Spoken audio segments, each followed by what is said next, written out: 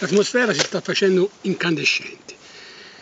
Il eh, Partito della Libertà è nel marasma più completo, ha un atteggiamento fracchiano, è un neologismo che da me inventato per dire alla fracchia si arrotola nella poltrona, non sa più cosa fare. Tirano fuori dei provvedimenti che non hanno logica e non sono neppure costituzionali, perché l'annullamento delle multe eh, crea una disparità tra i cittadini milanesi che magari hanno già pagato o addirittura quelli che non hanno subito eh, delle contravvenzioni, che hanno ottemperato alle regole vedete voi. Quindi da una parte potranno guadagnare 10, dico 10 voti e dall'altra parte ne perderanno 100. I cittadini ligi chiaramente andranno contro questo provvedimento e contro chi lo ha promosso.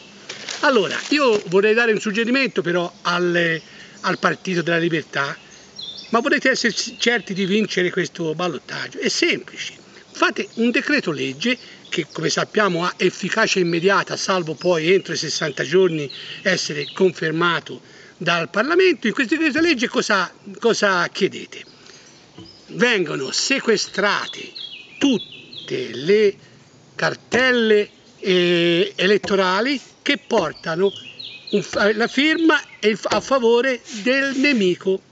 Cioè, in poche parole, coloro che non hanno votato la Moratti non, non avranno più la possibilità di far valere il, loro, il voto a loro favore. Questo perché? Così voi avrete vinto senz'altro. Ma come? Ma smettiamola con questi comunistacci, comunisti, ma che dico? Questi sono dei bolscevichi.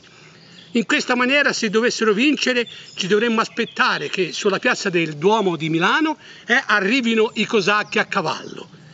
A questo proposito vorrei ricordare un passato non molto lontano quando l'anno scorso Gheddafi fece la visita a, in Italia e il nostro premier lo accolse con tutti gli onori e gli oneri. Addirittura permise che fossero fosse una cavalcata di 30 cavalli berberi fieri nella sua indipendenza della steppa e il terrore fu che dato, gli fosse dato il permesso di abbeveraggio dove? Alla Fontana di Trevi. Per cui se anche questi eh, diciamo cosacchi dovessero arrivare in Italia e dovessero andare sulla piazza del Duomo, c'è un precedente che è a detrimento e a scapito di chi l'ha creato già una prima volta. Passiamo da, ad altri argomenti, lasciamo perdere queste facezie. Qui c'è una situazione, come dire, non di stallo, ma di lotta continua, altro termine comunista, caro il mio eh, pre Presidente della Repubblica. Siete voi, Presidente del Consiglio, scusi, scusate il lapsus, ma non è freudiano. È, lei che ha creato questo clima di, eh, dice, di guerra civile, di contrapposizioni, di l'un contro l'altro armati. Ma cosa pensa di fare in questa maniera? La gente ha capito, come dite voi, avete detto, abbiamo capito e ora provvederemo. No, non avete capito un tubo.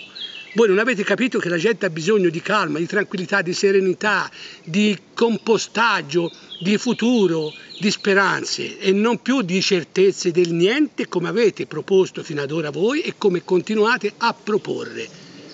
A lunedì!